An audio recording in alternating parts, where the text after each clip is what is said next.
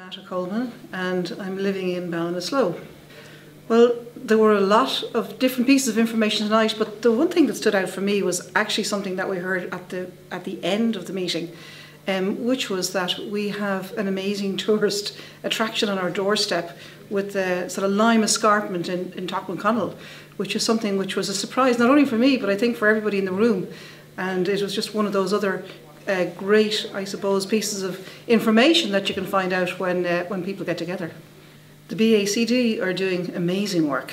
Um, they are involved in so many projects and the cohesiveness of the work that they're doing um, by working in different areas but all combining to, to really help the overall uh, community in Ballinasloe develop over, over time. And I think, you know, the whole amount of the volunteerism and the support that they're able to bring in and the way that they're able to put those structured planned programs together um, they have really demonstrated the amount of hours and effort that's gone in and um, yeah it's been very very positive. Um, I think um, I'm not sure to say shocked but probably thinking about sort of opportunity. And I think in uh, the piece that Anita talked about and the whole area about sustainability and the data that, that she now has and the town team now have in relation to um, you know where we can make energy savings and the opportunities in the, in the town.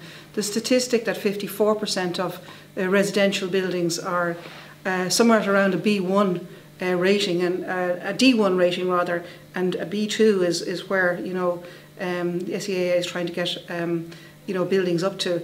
Just demonstrates you know the massive opportunity that we have for energy saving in the town. Um, and obviously the opportunity for potential work there for contractors as well. That was only one small element of the sustainability pillar, but um, I, I, was really um, shocked in a positive way to hear about that statistic. I, I, am. I think you know the community is going through a massive amount of change. Um, uh, you know we're growing as a community. We're becoming more diverse as a community. Um, we're changing even our ways of working as a community. And I think for me, like the key thing that was very positive about tonight and you know long may it continue is we had open discussion. You know we had you know um, differences of opinion. But the fact that there's a voice a place for everyone's voice in the room is what is so important. Um, and I was really encouraged by you know all of the, the different um, the amount of people that we had tonight as well um, I think the room was was full out the door um, so I, I feel always when people can come together um, it's going to be great for the future of any community. So, yeah, I mean, I, I, I think, I mean, and I've seen and been involved with some of the events over the years. Um, so I think um, from what I can see, what I saw tonight, it all was very positive for, for the future of Ballinasloe. One, when we were looking at the pillars, and I, I, shouldn't really be saying this because I know I've had a look at the plan before, but we've three pillars there, and um, one that kind of come out of me obviously is the whole area of um, you know, business and the business development, which uh, is being done through the Pulse Club and, and uh, the businesses and so on. But like as a pillar, like obviously our, our economic growth, and we have all shop Ballinasloe, so we have that. So, and I mean the other pillar might be education. So that might be something also that, you know, having having heard tonight about, you know, the developments that we have. Hello, you? My name is Liam Kildea and this is Louise Whelan here. We're from South Roscommon and we live in a karst landscape in South Roscommon.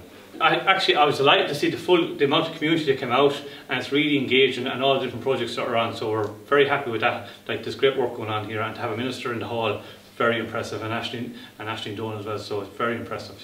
I've linked with them, so yeah. So like I said, we're it's about getting good plans in place for future development. Um, well, I how this hasn't been tapped into beforehand how Ballinasloe has been left, like, like because it has real potential. And South Roscommon has real potential and it should have really been tapped into 10, 15 years ago, definitely, yes. It, it's, a, it's a work in, pro, in progress to get me to know, so like the committee is a voluntary committee, so they're doing their best to get me to know, so like, like in fairness all I can do is, if someone has a gap, put their hand up and try and, and, and try and fill that gap, that's all they can do.